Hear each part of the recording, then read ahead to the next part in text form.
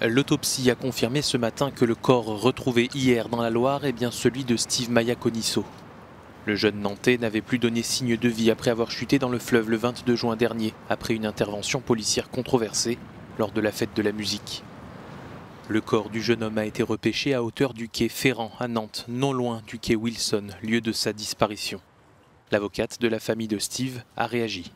La famille est dans un état de souffrance et de choc euh, très important parce qu'en même temps que la découverte euh, de ce corps, c'est pour eux l'annonce certaine de la mort de leur fils et de leur frère. Une information judiciaire pour homicide involontaire a été ouverte ce matin. La police des polices saisit le 24 juin pour faire la lumière sur les conditions d'intervention des forces de l'ordre ce soir-là, devrait rendre ses conclusions cette semaine.